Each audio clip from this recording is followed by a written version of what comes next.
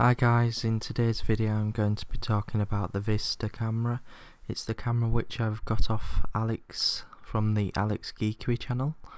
So here we go. Here's the lens, it's got a 3.5 to 8mm f1.4 lens on it. It's got the focus and the zoom, there's the sensor, and plus it's got a microphone on the front which is handy. Uh, on the back, that's a shot and there's the side of the unit and there's back to the front again. It's tiny that housing it's black and white and it's got your video out. It's got your 12 volt power supply. It's got your audio out and it's got a power light which is green by the way and plus it's got some dip switches.